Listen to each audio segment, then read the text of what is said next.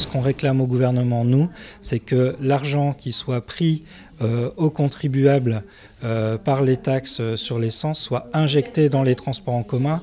et euh, dans le financement de, voitures plus propres pour que les, gens puissent effectivement se passer de la voiture. On ne peut pas à la fois euh, demander aux gens de payer davantage pour limiter le nombre de voitures et puis euh, ne pas investir dans les transports en commun et détourner l'objet de cette taxe de ce à quoi elle devrait être affectée. Donc vraiment le leitmotiv des écolos, c'est l'argent qui est pris aux contribuables sur euh, la taxe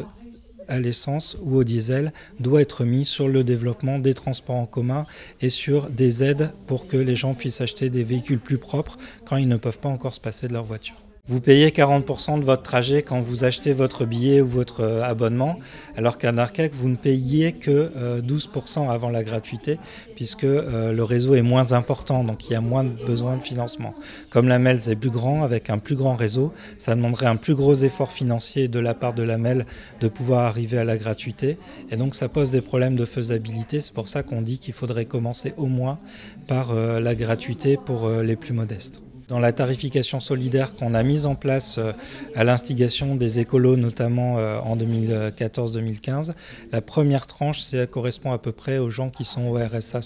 socle. Voilà. D'abord de relier le réseau de métro au train en, prolongeant la ligne 1 jusqu'à Léquin et la ligne 2 jusqu'à Péranchy, et puis ensuite de construire des kilomètres de tram qui permettent de, de faire des liaisons transversales, prolonger à Roubaix vers Waterloo, un tram qui puisse faire Roubaix, Tourcoing, Villeneuve d'Ascq, un tram